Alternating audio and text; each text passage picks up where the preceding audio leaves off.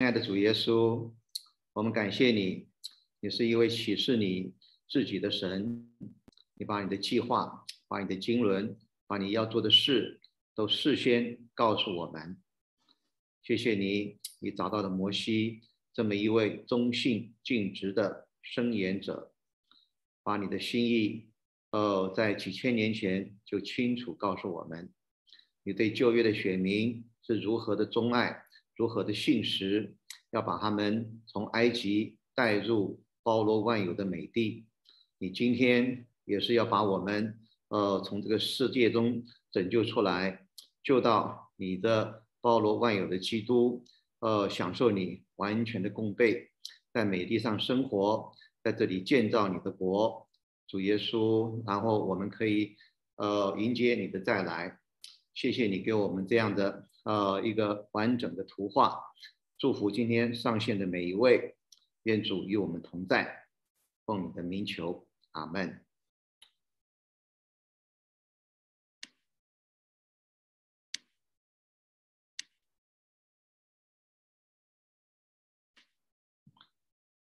好，我们今天来到圣经中的人物第一百零四篇，今天我们要来看摩西的执事。里面主要有三点，今天我们就来看前面的两点：生言者和中保。神要在地上执行他的工作，都是借的先向生言者说出他自己的话，然后他照着他的话去执行。阿摩斯书三章七节：主耶和华若不将秘密启示他的仆人众生言者，就一无所行。就是说，神不先跟这些生言者说，神就不会做事。在创造天地万物的时候，那时候还没有生言者，神自己说话。神说要有光，于是就有了光。所以神的行动是由他的说话。来带进来的。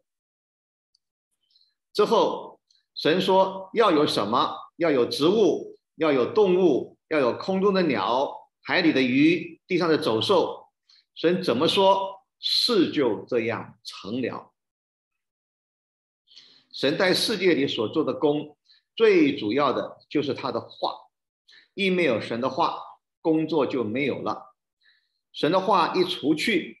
工作简直是等于零，但是有了神的话，地上就有神的工作来执行神的旨意。我们必须认识神的话在神的工作里、神的经纶里所居的领头地位。如果从神的工作里把神的话一挪开，神的工作立刻就停止。在事实时代。非常的黑暗，尤其在以利做祭司和士师的时候更是黑暗，因为当那些日子，耶和华的言语稀少，不常有异象，而当耶和华的言语稀少，人就没有异象，没有异象，民就放肆。往下二十章九节，以赛亚书三十。八章七节都说，耶和华必成就他所说的事，就是耶和华怎么说，他就一定要来成就的。耶和华说：“我从起初就指明末后的事，从古时就言明未成的事，我的筹算必立定，凡我所喜悦的。”我必成就。在旧约时代，神拣挑选人做声言者来说他的话，这许多声言者得着了从神来的启示，看见了异象，在那里为神说话。当神在地上找不到合适的人来配合。像巴兰那样贪婪诡诈的人和他的驴子也能成为神说话的工具。巴兰说的预言也是旧约里面非常重要的预言和祝福之一。然而，巴兰本想是要去咒诅以色列人的，他财迷心窍，只看见钱，看不见天使要杀他。于是神借着驴子向他说话。驴子和巴兰说话的时候，还有巴兰后来祝福以色列人的时候，是神的灵临到了巴兰和他的驴子，叫他们如此说，他们就不由自主的说了。无所不能的神，能够叫巴兰的诡计停止了，又叫神的话放在巴兰的口中，巴兰不能抗拒。就将神的话原封不动的，如同录音机从他口里说出去，连不能说人话的驴子也能够说出人话，还跟巴兰对话。这是在神找不到合适的人，连巴兰和驴子都能说话。但是在摩西的身上，我们看见。他不是如巴兰般的录音机，在摩西的说话当中也有人的意识和思想在内，但又一丝不苟、不草率、不随便的为神说话。而且在摩西所说的话里头，我们可以感受到有神的成分在内，而有些摩西的话中也有人的成分、感觉在内。甚至有时候分不清楚这句话究竟是哪一位在说的。举一个例子，摩西在《生命记》嘱咐以色列人的时候说：“这在十一章的十三节，你们若留意听从我今日所吩咐的诫命，爱耶和华你们的神，全心全魂侍奉他。”所以在这里头，这个我是讲摩西，因为那里他讲耶和华神是他。可是这一句话后面是一个逗点，接着我必按时降秋雨春雨在你们的地上，使你们可以收藏五谷、新酒和新油。我必使田野为你的牲畜长草。你也必吃得饱足。这里这一句话，十一章十四节两次讲到我，都是耶和华神，因为只有神能够降雨，能够使田野长草的。可是这两节经节是一句完整的话，中间是一个逗点，两个我其实是两个不同的。但却又是一个，在跟从耶和华神的四十年当中，摩西借着一次又一次的与神的接触、交通，他已经与神联合成为一了。神的思想成为他的思想，叫他所说的话就是耶和华神所要说的，连主词都一样。而在这一句话中有摩西的说话，也有耶和华神的说话，两者成为一，分不出究竟是摩西还是耶和华神在说话。这是神的心意，要叫人与神来成为一。可是当巴兰从他自己的想法、感觉说话的时候，他那个话，他那个感觉，在神面前。是被定罪的。当巴兰在神的灵感动之下，只能说神要他说的；但是当巴兰照着自己的想法说话的时候，你就看见了，那个是罪，是错误，是黑暗的，是神所定罪的。可是摩西就非常不同，虽然他大部分的说话。是按着神所吩咐他的，在那里对百姓说，例如像立位记中，一大堆的 关于如何来敬拜生活上的所有的规条。可是有的时候，摩西是凭着他摸着了神的心意，也凭着他在神面前的感觉来说话，说着说着就把神的心意说了出来。神也承认摩西所说的是神的话，因为摩西这个人得着神一再的分赐，他的思想和感觉是被神浸透了。充满了他的爱恨与神的爱恨是成为一了。在大卫的身上，我们也可以看见类似的情形。在大卫的诗篇中，神经常插进来说话。那个我其实不是大卫了，而是预言基督了。到了新约时代，神的工作是更加的往前了。神的话亲自成为肉体，成了一个道地的人，是耶稣活在人类当中。神的话和人是完全联合成为一了。而在耶稣死而复活之后，成为赐生命的灵，重生信徒之后，使徒们在传讲福音、牧养教会、写书信的时候。虽然绝大多数 都是圣灵的启示，但是这些书信里面带着使徒自己的感觉和意见。可是这些意见已经经过了神生命的更新变化，虽然是有人的味道在里头，但是这是神的话，新约圣经是神与人不但在灵里调和了。更从他们的灵里扩散到魂里，使他们的魂所感觉的、所思想的、所说出来的意见，都成了神的话。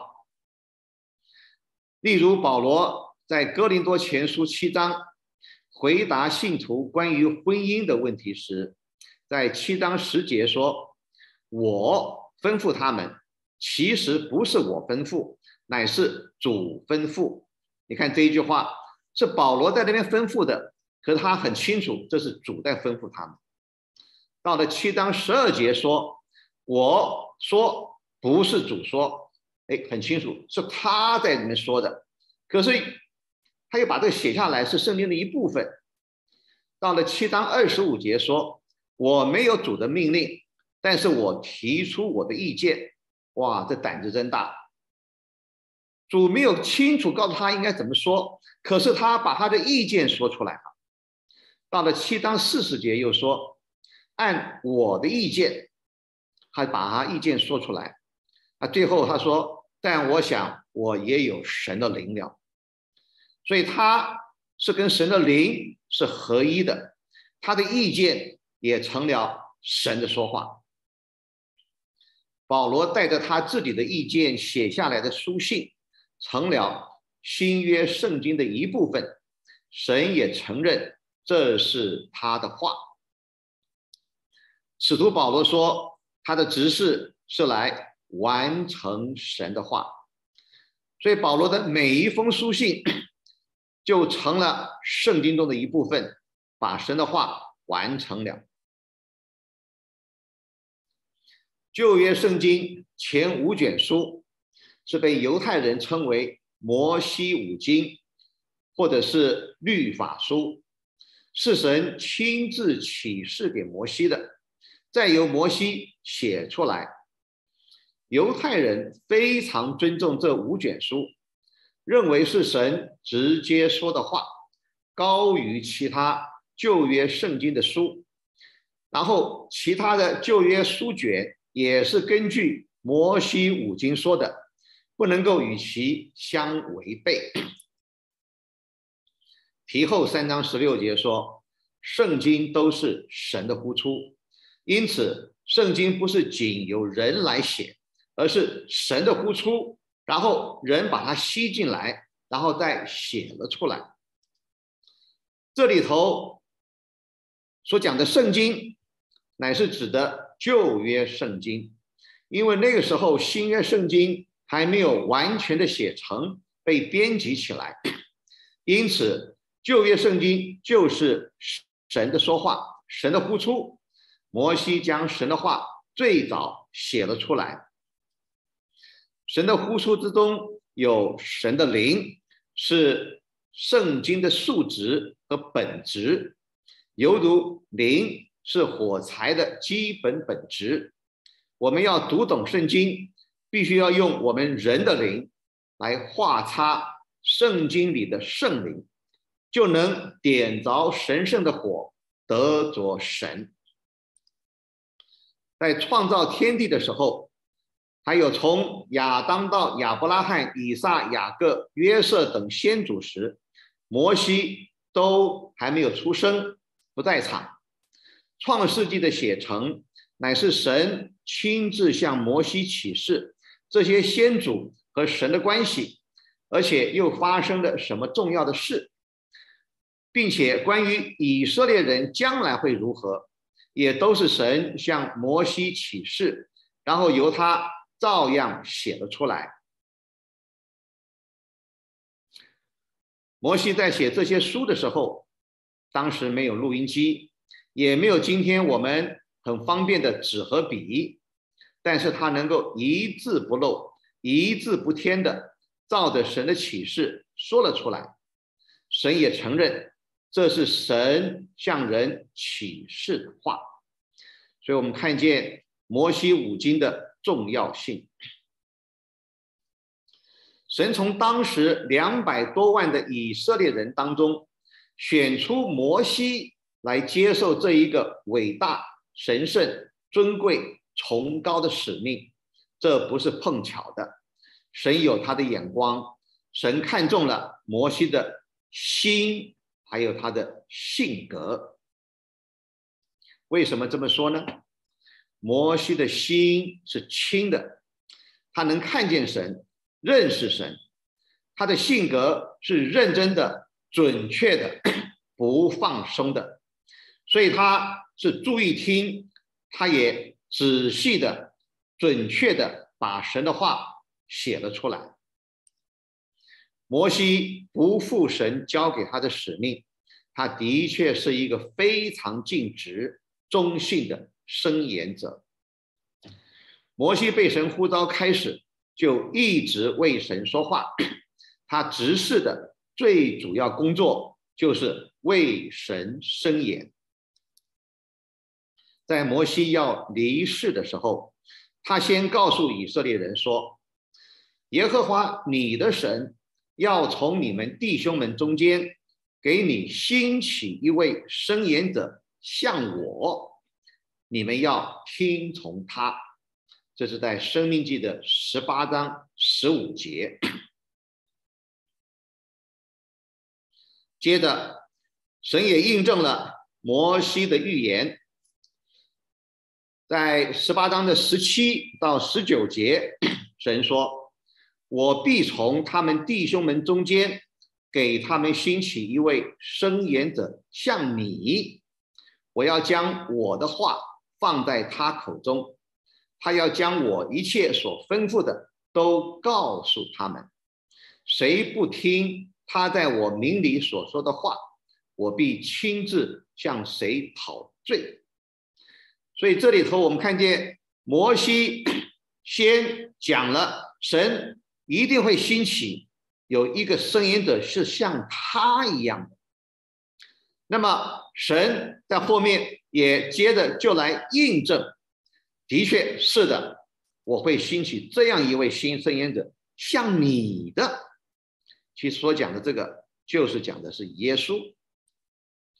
生言者是神先向他说话，然后他把从神所听见的造词说出来，他的话里头不能够掺杂自己的意见，必须是照实说的。可是，在这里头，是摩西先说了这个预言，然后由神来加强印证摩西所说的。这个可以证实了，摩西声言者的地位是神所看重的。他说的预言，神再来加强他。在《生命记》的最后，这一句话可能是由约书亚补上的盖棺定论。以后以色列中再没有兴起声言者像摩西的，他是耶和华面对面所认识的。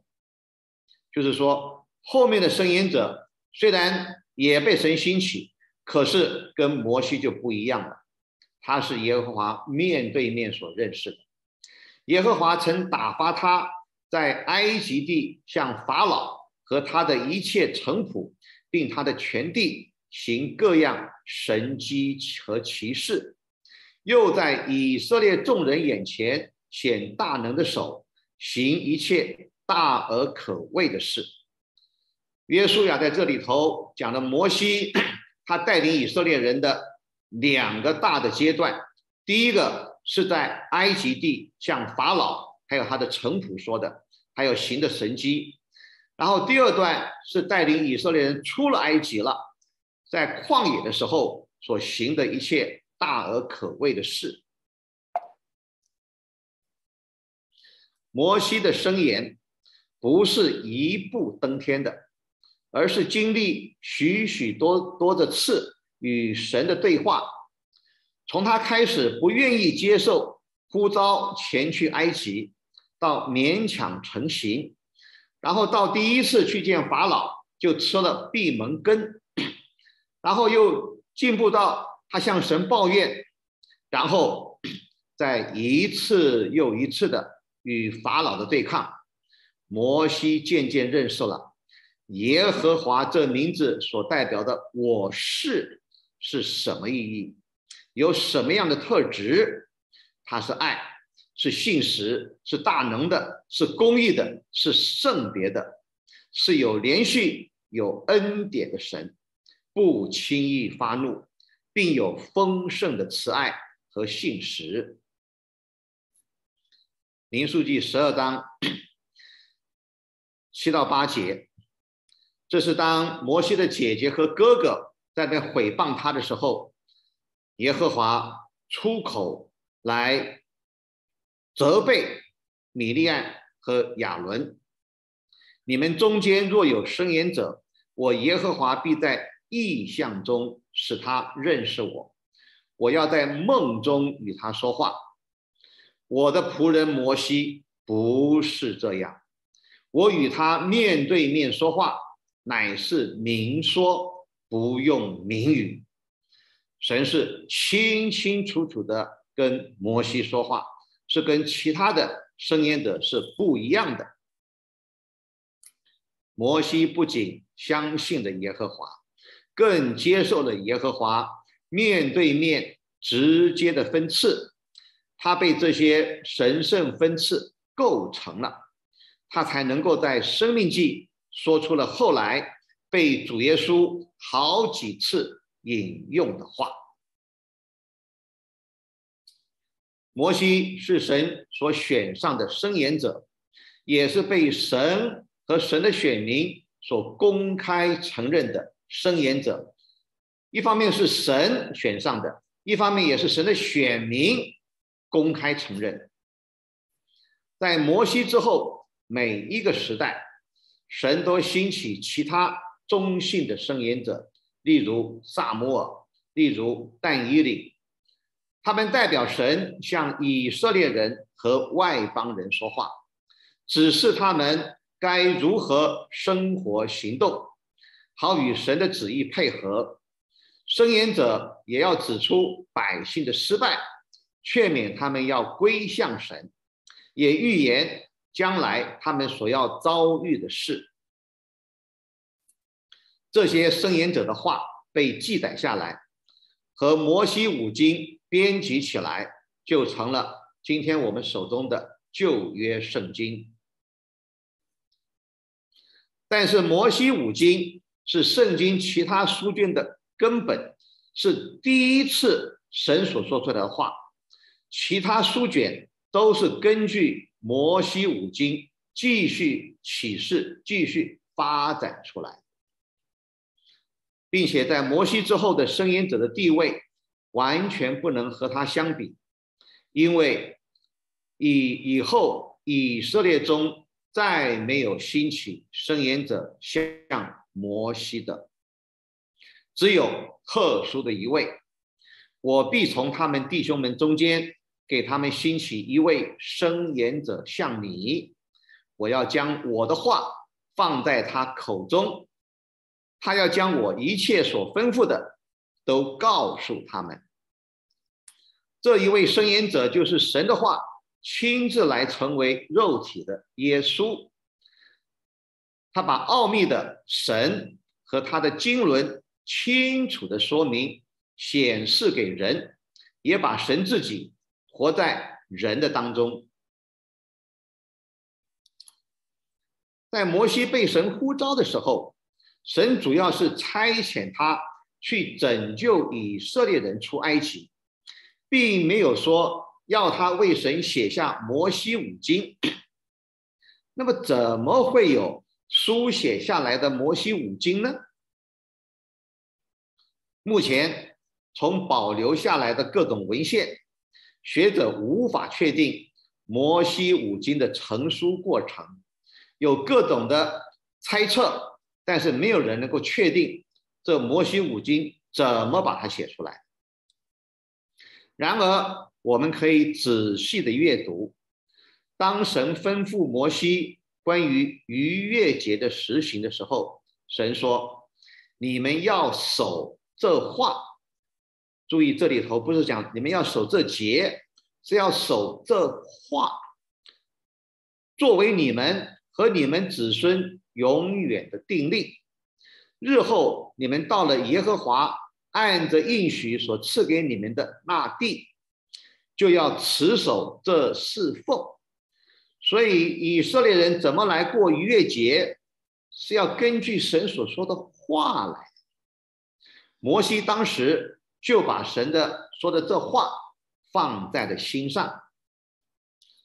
后来在打败亚玛力人之后，神吩咐摩西：“你要将这话写在书上做纪念。”这里头是特别讲的，要摩西把它写下来。于是摩西就把他和神之间的对话。神吩咐他去和法老的对抗，并且神借着他在埃及所行的各样神迹和奇事，和沿途发生的事都记载了下来，这才有后来的摩西五经。摩西并且知道，仅仅是靠着人的口传，过了一些年代就会走样了，并且失传了。另外有写下来的神的话，书写下来的是不可以改的，可以一代一代的传扬下去，不会改变，也不能改变。圣经是不可加一句话或简一句话的。虽然我们不能确知当时摩西如何写下的摩西五经，但是摩西对神的话。认真的听，然后去传讲，一面去执行神的吩咐，也一面把神所说的忠实的写了下来。摩西是声言者，不仅对神所说的话认真听从，并且他还知道如何去应用实行神说的话，因为神说。我口所出的话也必如此，绝不突然返回，却要成就我所喜悦的，在我所打发去成就的事上必然亨通。所以，神不仅是说话，神所说的话是需要去实行的。好，那现在我们看摩西是怎么样来实行神的话。在出埃及记十二章一到十节，神告诉摩西亚伦关于逾越节的事。十二章七节，在黄昏的时候，以色列全会众要把羊羔宰了，各家要取点血，涂在吃羊羔的房屋左右的门框上和门楣上。十三节，这血要在你们所住的房屋上做记号。我一见这血，就越过你们去。我击打埃及地的时候，灾殃必不临到你们身上，毁灭你们。好了，这一段话里面，神没有告诉摩西应该如何去涂写的细节。三千多年前没有路灯，以色列人居住的地方，黄昏之后一定是漆黑一片，可能要打打灯的，不容易看清楚眼前的事物，更何况能够认出哪家的门框和门楣上有写作记号，而且血干了之后，它的颜色近乎深色，在黑暗中。更是不容易看清楚。为了避免晚晚上昏暗看不清楚被误杀了，摩西是否应该想到要用一个大扫把来涂抹羔羊的血，以显出一大片的涂血记号？这样在几米之外，在昏暗中都能够立刻看出来这里是涂过血的。可是摩西他是非常仔细听了神的话，神是说各家要取点血，特别用一点血涂在吃羊羔的房屋左右的门框上和门楣上，所以这里是说只要是有一点点血就够了，不需要取大量的血，不需要用到大扫把，一点血就能表示。这家的人听见了神的救法，就照着神的话去做了，这个叫做信心。就神怎么说，我就阿门，我就接受。信心是一点点的信心就够了。信主不需要有如大扫把般的信心，去取用大量基督的保险，一点信心就够了。在祷告的时候。有时候我听见圣徒们说：“主啊，用你的保险厚厚的遮盖我们。”其实这个不太合乎圣经。我们只要有一点点的信心就够了。该如何去执执行取点血涂在吃羊羔的房屋左右的门框上和门楣上呢？摩西招了以色列的众长老来，对他们说。你们要按着家取出羊羔，把这逾越节的羊羔宰了，然后拿一把牛膝草去沾盆里的血，然后打一些在门框、在门楣上和左右的门框上。你看，是拿一把牛膝草去粘，不是去整个去把它浇在里面，去粘，然后打一些。你们谁也不可出自己的门房房门，直到早晨，因为耶和华要巡行击杀埃及人。他看见血在门楣上和左右的门框上，就必越过那门，不许灭命的进你们的房屋击杀你们。神的眼睛是好的很的，比二点零还好，他是。看见你只要有一点点的血打在门上了，那就够了。神没有吩咐该如何去涂血，乃是摩西指示百姓拿一把牛膝草沾盆里的血，打一些在门楣上和左右的门框上。牛膝草是一种微小。长在田野或者是墙的细缝中的植物。圣经中论到所罗门的超群智慧，他能够讲论各种植物，他从最尊贵的讲到最卑微的，最尊贵高大的黎巴嫩的香柏树，直到最卑微细小的长在墙缝中的牛膝草。牛膝草的叶子多毛吸水，适合用来洒水或者是血。因为摩西吩咐使用牛膝草在逾越节洒血在门楣上，牛膝草后来也用来洁净长麻风的人，也用来洁净有麻风的房子。后来也跟红母牛还有香柏木一同烧成灰。制成了做除污秽的血水，牛膝草后来就成为属灵洁净除污秽的象征。诗篇五十一，大卫犯的罪之后，他那里痛心的祷告：求你用牛膝草洁净我的罪，我就洁净；求你洗涤我，我就比雪。更白，牛膝草是几乎随手可得的，就是你在任何情况之下都可以用信心来求主的捷径，也不必花钱，白白就可以取得。所以主的救恩是白白的赐给我们的，所以我们在应用羔羊的血也是这么的方便。好，这个就是牛膝草。你看这里头是一手这么大，牛膝草就这么一点点。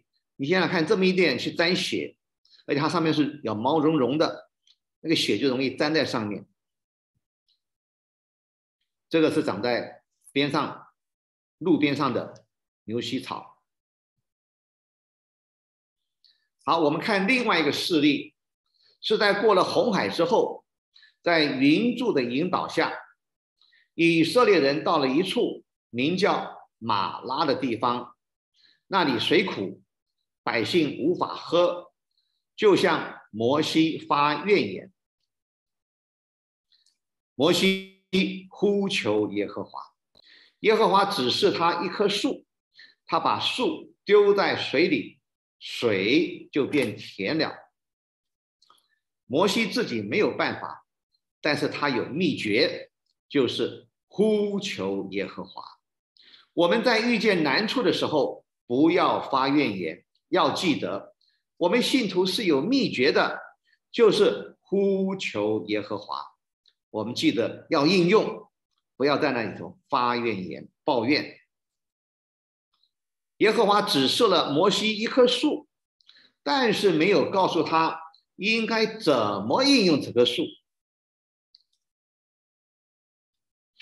但是经过了许多次在对抗法老的事上与神的配合，当神指示摩西一棵树，摩西就知道他要把树丢在水里，他一丢，于是水就变甜了。医治苦水的树，表征基督的十字架。我们需要看见定十字架的基督可以实际的应用。在我们的苦境中的，当我们在苦境中经历了十字架致使我们的怨言，就会带领我们进入复活，使我们的苦境变甜。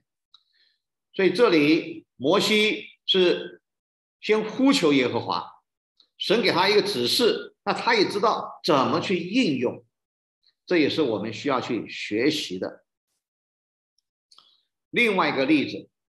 是以色列人抱怨没有水喝，神就吩咐摩西拿着击打尼罗河河水的杖，在百姓面前击打河裂的磐石，磐石就流出活水，给百姓和牲畜喝。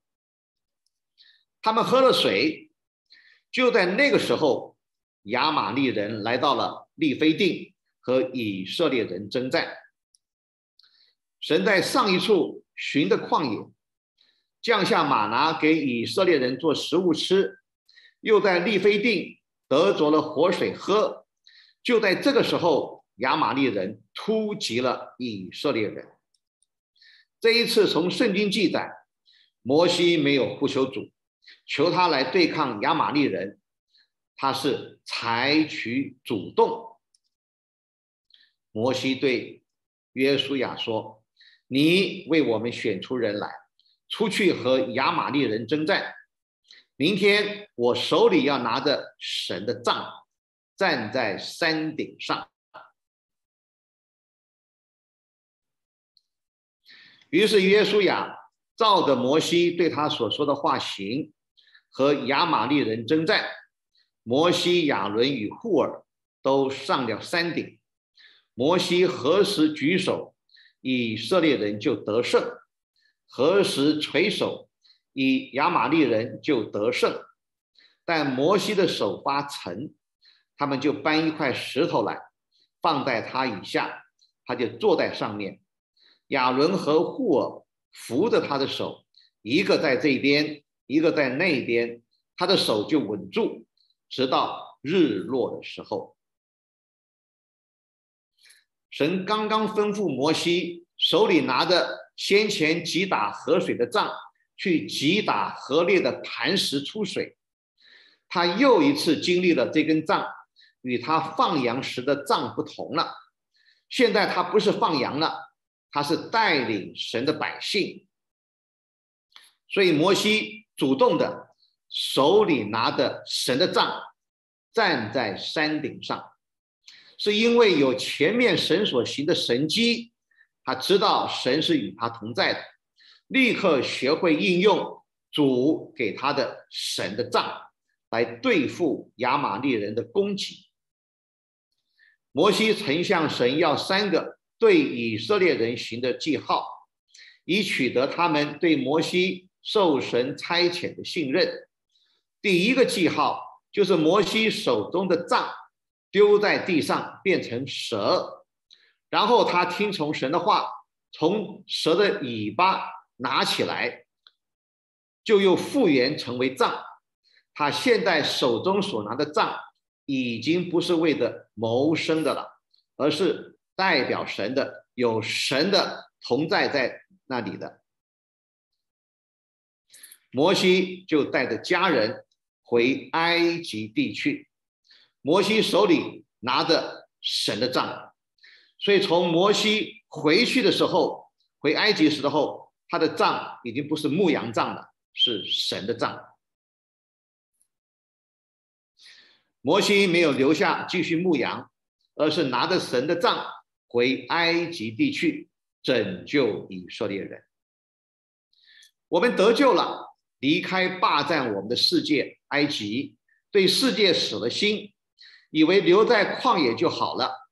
但是旷野不是神给我们的久居之处，而是要我们拿着神的杖回埃及地去，去传福音，带以色列人出埃及，牧养新人。建造神的居所，就是基督的身体，这是神给我们的使命。就像主耶稣复活之后说：“你们要去，使万民做我的门徒。”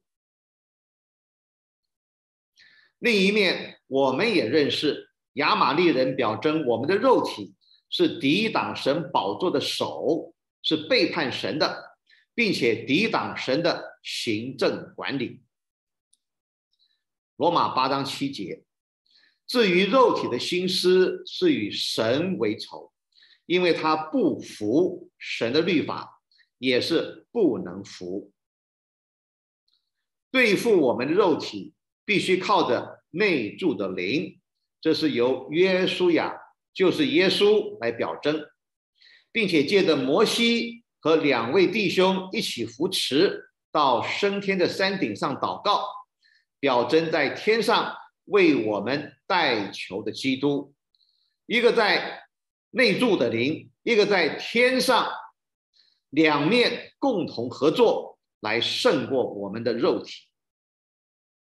虽然以色列人从来没有打过战的经验，但是摩西认识神的心意，只要百姓的信心是根据神的引导，而不是根据眼见的环境。和过去的经验，就应当相信，那使磐石出水、红海分开的神，也照样能够带领他们打败亚玛力人。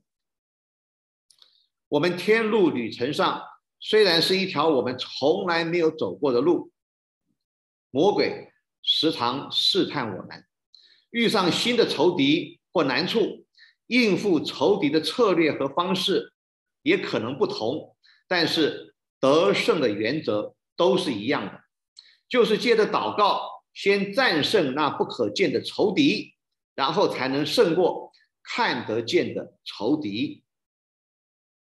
摩西的主动。并不是出于他自己，神也称许他这么做，所以我们也该学习在调和的灵里来行动。神过去帮助我们，他到今天还是帮助我们。摩西在此把征战和祷告看作同一件事，这也是我们需要注意的。许多基督徒在自己晨祷的时候。将祷告当作与神交通和享受，如同哈拿上圣殿祷告，在神面前倾心吐意，把他的心中所求的和苦衷向神倾诉。这样与神交通的祷告是重担得卸，这是一种奉献的祷告，是一种享受。但是摩西在此的祷告不是一种享受。而是一种征战，征战不是为了享受的，不能理会我是否感觉到有味道，或是没有味道，我的情绪高或者是低，我开心或不开心，肚子饿不饿，困了累了，纵使不开心，战争开打了，你就要持续的去征战，而且是全力以赴的，因为这是在征战中。这叫做守望祷告，也就是以弗所书第六章征战的祷告。就拿我们每天上班来说吧，今天你心情不好，你要不要上班？你可以把怨气发泄在老板、同事的身上吗？既然要忠于职分，就没有权利把这职分以外的其他影响带进来。守望祷告是一场征战，是要不顾自己身体上、精神上的需要、疲累，这是要全力以赴的，绝不能够受任何人事物的影响，而是要竭力征战，并且与同伴同心合意、坚定的征战。为什么摩西一定要上到山上去祷告呢？是否在山上比较接近神呢？不是的，神一直是非常近。因为摩西在山上可以看见山下整个战场的情况，了解整个战场的状况，才知道应该怎样祷告来加强约书亚的战斗。我们不仅要祷告，在祷告的时候。能够在灵里与基督一同坐在天上，高过所有的仇敌，因为他们这时都在基督的脚下。我们也要从混乱的地上拔高到认清我们所祷告的事有关联的实际情况，这叫做属灵的洞察力。为什么我们的祷告有时许多时候？好像没有话可说，或者是没有揪心迫切的祷告，因为我们没有与基督联合成为一灵，也没有坐在天上，没有这属灵的眼光和感觉去了解我们所该祷告的事。摩西在山顶上注视着山下的战场，知道自己的祷告如何影响约书亚征战的胜败。这个时候，他属灵的眼光一目了然，就知道该如何祷告，推动神的手。我们要坚定持续祷告，就需要有同伴，一直到约书亚用刀击败了亚玛利王。我们今天黑夜已深，白昼将近，所以我们当脱去黑暗的行为，穿上。光的兵器，基督的再来已经非常临近了，让我们警醒祷告，加入主的代求。摩西与神每一次对话都是祷告，起先是求问该怎么去应付法老，后来也能够在神发烈怒的时候劝神消气，甚至改变不降灾给以色列人，更在被可拉党叛变的时候，直接的宣告地裂开的审判，而神也听他的宣告，立刻把地裂开，吞灭可拉达。摩西不像百姓看见西乃山上的雷轰、闪电、冒烟而惧怕神，他答应神的呼召，两次上山四十昼夜不吃不喝，和神有亲密的交通。神也珍赏他愿意亲近神的心，就把许多话对他说，其中有些细节摩西没有写下来，我们也无从知道。但是我们在。永远里的时候，到新耶路撒冷，我们可以问一下摩西。但是摩西所告诉我们的是关于帐幕的建造蓝图，还有与百姓再次立约的重点。这我们在以前也讲过了。由此我们可以学习，最好的祷告就是亲近神，与神对话。要从有事才去求问，进步到根据神所说过的话来导读，把神所呼出的话吸取进来，成为我们的食物，然后把这些话作为我们向神说回去的话，反复思想，让神的话更新变化我们的三观，就是我们的人生观、价值观和世界观。并且吸取神的本质和性情，逐渐将我们构成新造。爱神所爱的，就是爱他的话，爱教会，爱世人，去传福音，爱牧养信徒。摩西在每一次难处都与神直接对话接触，而认识了神和他的心意，也就主动的为百姓代求。并且采取行动，做合适的处理。一位好的申言者，也必定是一个中保，为百姓代求。在百姓拜金牛犊事件的时候，神是极其发怒，这时候是何等一个大难题！但是摩西仔细听神的话，你且由着我。哇，这句话，我要向他们发烈怒，将他们灭绝。我要使你成为大国。他能够分别什么是神话里重要的部分，什么是神的气话，不需要停留在上的。神说的这句话重要是：你且由着我，这位宇宙中独一的创造者。大能尊贵的主宰一切生死的君王，在他非常愤怒的时候，居然说：“你且由着我。”神用这么一句话：“你且由着我。”提醒摩西要设法拦阻神把百姓灭绝。神也说：“下去吧，因为你的百姓就是你从埃及地领上来的，已经败坏了。”摩西立刻提醒神：“这不是我的百姓，他们是你的百姓。这百姓是你用大力并大能的手从埃及地领出来的。”摩西当时如同一个温柔委婉的妻子，面对大发雷霆的丈夫，提醒这个悖逆的孩子是他的孩子。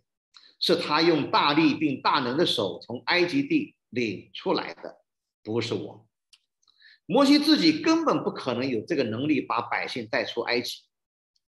他也提醒神，如果神现在把以色列人杀了，埃及人会笑话说，神只会把以色列人带出埃及，却没有本事把他们带入美地。摩西更确知神是信实的，他向亚伯拉罕、以撒、以色列起誓，要把所应许的地赐给他们的后裔。你如果把他们杀了，你怎么对得起自己呢？你的信实怎么办呢？还有，你怎么回去面对亚伯拉罕呢？摩西这样的祷告，不仅给神一个台阶下来，使他怒气消减，更堵住埃及人的口，也不至于违反神的信实。这是中保所该做的。摩西是个认识神，也认识神的心，更认识神经纶的人，他是中保的模范。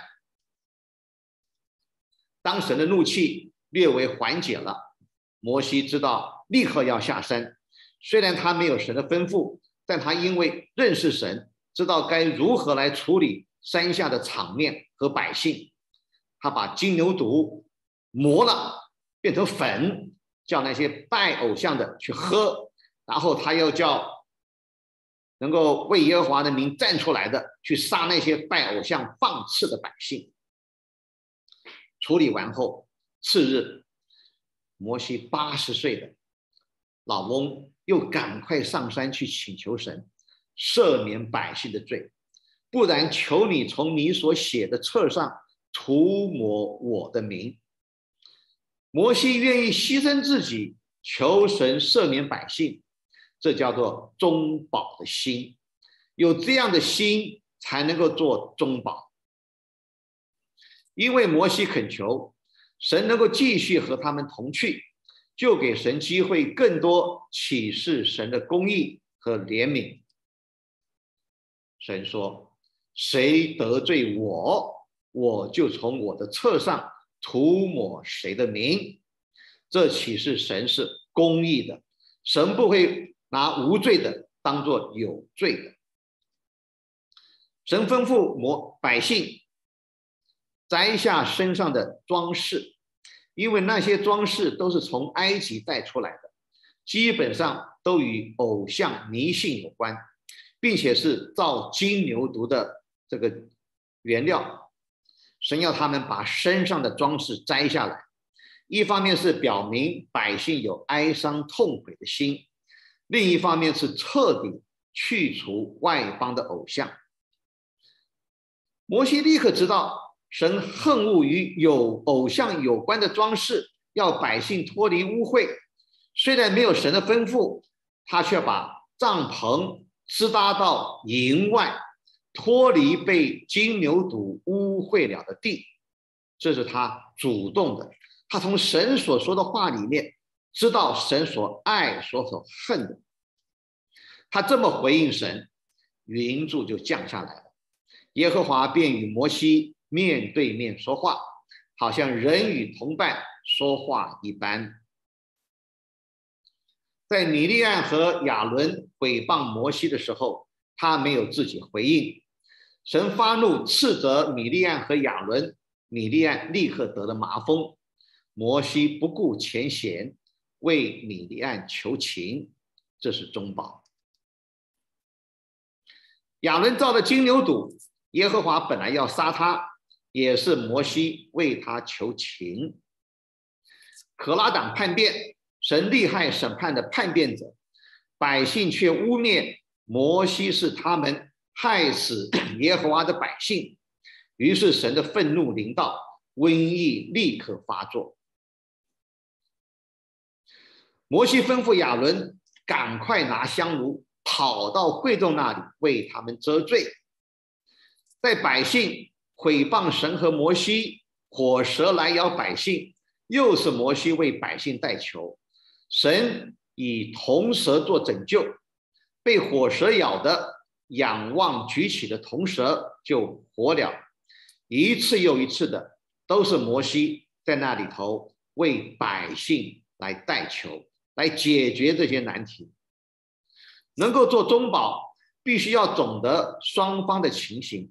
尤其是神发怒的原因，百姓的失败，应该如何来求情，使神的怒气稍消减？如果乱求或妄求，反而火上添油，越弄越糟。摩西借的一路上百姓的光景，他懂得百姓，他也借着亲近神而认识神，故能够做美好的中保。一个好的中保，必须知道双方的需要，也为着双方的利益着想。神是专心一意的爱以亚伯拉罕、以撒、雅各，发誓要把他们的子孙带去应许之地。摩西亲自听见神这么对他说：“我要把你们领到我起誓要赐给亚伯拉罕、以撒、雅各的那地，将那地赐给你们为业。我是耶和华。”神在里头发誓要把他们带进去的。摩西也知道这位是爱是信实的耶和华神，已经在埃及行了这么多的大神迹。就是要把百姓带入那块流奶与蜜的美地，这是关于神的能力与信实，这是神所要做的事情。而以色列人所得的最大利益，就是你们要过去得为业的那地，乃是有山有谷，有天上雨水滋润之地，是耶和华你神所眷顾的，从岁首到年终。耶和华你神的眼目时常看顾那地，神要把最好的神在地球上整个地球上最美好的一块地赐给亚伯拉罕、以撒、雅各的后裔。没有一以色列人得的物质的任何的东西比这块地更宝贝的，所以摩西才会在生命记一再的提醒百姓。我今日呼唤天地向你们作证，我将生命与死亡、祝福与咒诅成名在你面前，所以你要拣选生命，使你和你的后裔都得存活，且爱耶和华你的神，听从他的话，紧连于他，因为他是你的生命。所以拣选生命就是拣选耶和华神，你的日子长久也在乎他，这样你就可以在耶和华向你列祖亚伯拉罕、以撒、雅各起誓要赐给他们的地上居住，他们要在上面长久的生活。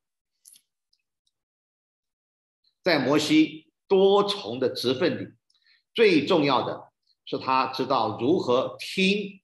仔细听，注意听，然后他来为神伸言，从神的话认识了神的性情和个性，他也学习如何来实行应用神的吩咐。他不只是听神的话，他还吸收神的呼出，使他的心思意念都与神联合为一，所以他所说所做的都能够彰显。神的意思，然后他知道如何借着祷告与神对话，接受神话的传输和光照，使他的脸皮发光，反照神的荣耀，进入神的心意，能够妥当合适的做神和人的中保。我们今天也要学习把心转向主，帕子就除去了。我们的心可以成为摩西的心的复制，成为新心的人，观看并反照主的荣光，就渐渐变化成为与他同样的形象，从荣耀到荣耀。如此，我们领受神的话，我们去说神的话，做中保，为人代求。感谢主，在这个世代要结束的时候，神呼召了我们。让我们学习享受听神的话，与他有甜美的交通，知道如何来活他，与他一同行动，带进主的再来。阿门。好，我今天交通就停在这里。